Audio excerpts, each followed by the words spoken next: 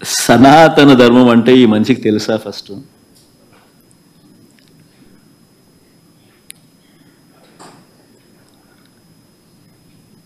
సాక్షాత్తు నువ్వు ఆ కూటమిలో ఉన్నావు. సాక్షాత్తు చంద్రబాబు నాయుడు నీ కళ్ళ ఎదుట ఈ తప్పు చేసినాడు. తప్పు అని నీకే కాదు సామాన్యునికి ఆరేళ్ళ పిల్లోనికి కూడా కనిపిస్తా ఉంది. నీతో సహా.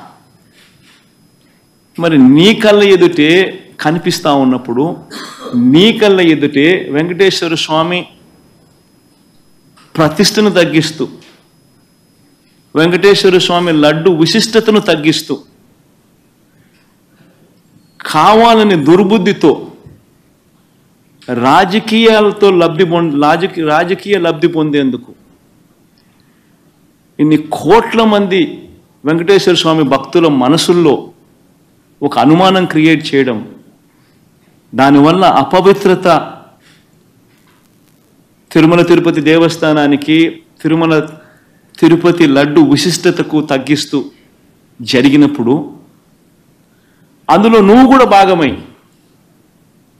నువ్వు కూడా అది అబద్ధం అని తెలిసి నువ్వు కూడా ఆ అబద్ధానికి రెక్కలు కట్టి నువ్వు కూడా అదే దుష్ప్రచారాన్ని చేయడంలో నువ్వే అడుగులు ముందుకు వేస్తా ఉన్నప్పుడు ఎక్కడ సమ సనాతన ధర్మం గురించి నువ్వు మాట్లాడతారు కరెక్టేనా మనం చేసేది? ఏదైనా కానీ తప్పు చేసినప్పుడు ఆ తప్పును మనం ఎత్తి చూపలేకపోతే ఆ తప్పును గుడ్డిగా సమర్థించడం మొదలు పెడితే అందులో దేవుని విషయంలో సనాతన ధర్మం అని చెప్పి మనం చెప్పుకోవడం ఎంత మటుకు ధర్మం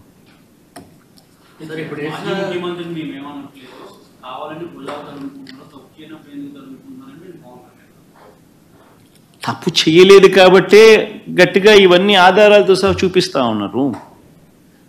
ఈయన నేను చెప్పినట్టు కాదు. చంద్రబాబు నాయుడు మాట్లాడిన మాటలు స్వయంగా వాళ్ళ టీటీడీ ఈవో మాట్లాడిన మాటలే ప్లే చేస్తుంది. తిరుమల తిరుపతి దేవస్థానంలో దశాబ్దాలుగా ఉన్న ప్రాక్టీస్ ఏదైతే ఉందో ఆ ప్రాక్టీస్ను చూపించాము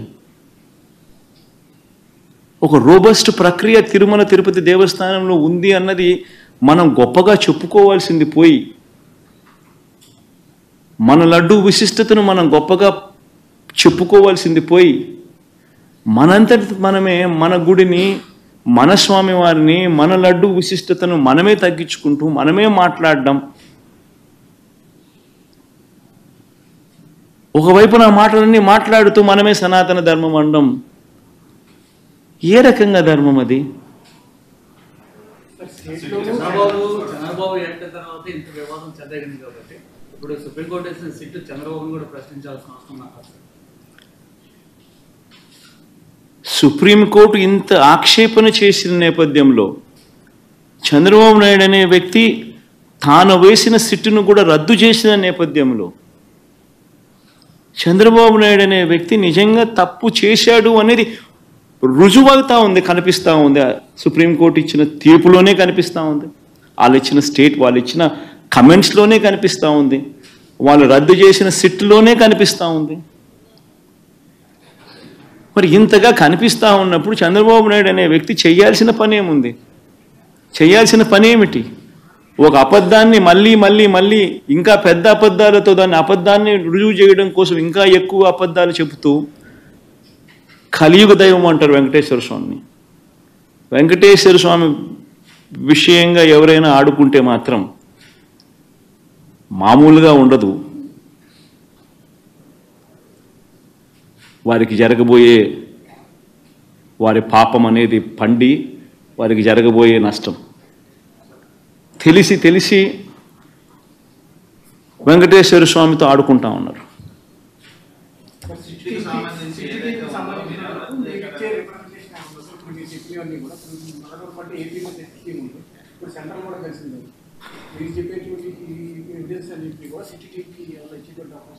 ఎందుకంటే ఎన్డీఏ కూడా రెండు చోట్ల ఉంది.